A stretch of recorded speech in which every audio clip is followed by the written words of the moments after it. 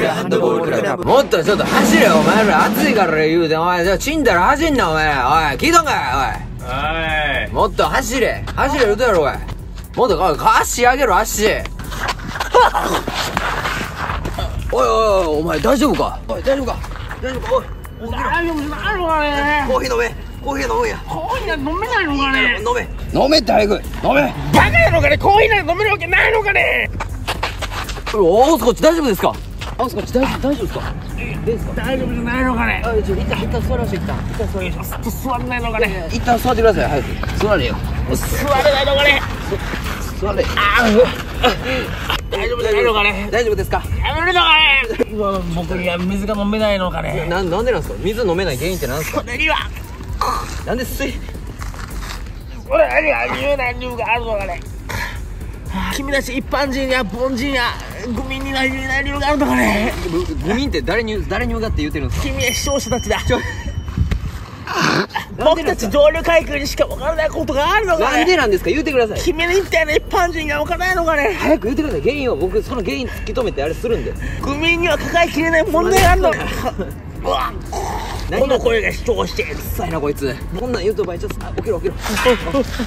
とと捉えて捉えてできてない理由は何あるかなね何ですか？5月病なのかね？5月病で水筒忘れて普通に飲み物ないだけですか？全くその通りなのか冷ね水器行けよ。何しとん水分持ってきてほしいのかね？ここはどこなのかね？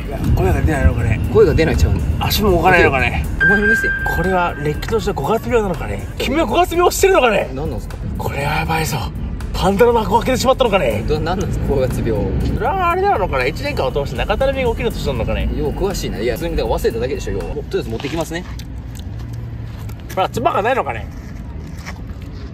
最後も早くするのかね？大丈夫ですか？ダメだよ。あ誰なのかねあ水くれるのかね？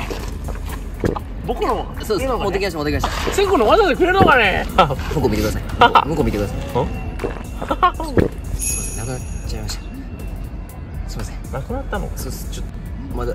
そうっす。ね 結構上乱きてるのかね？いやよう考えたんですよ僕。あの私助けたい気持ちとアゴスコーチにこれを飲まれたくない口をつけられたくない気持ちが僕買っちゃいました。俺の監督も見てるんでさすがに人の飲み物渡すなみたいな感じだったんで。そそこだけはちょっと分かってください。あでも僕もう死にそうなのかね？すいません分かるんですけど気持ちは。なんですいません。あのそうです なんで渡せないです。見てください。あこ。うキモいです車ねごめんジェレク。友達じゃないのかね？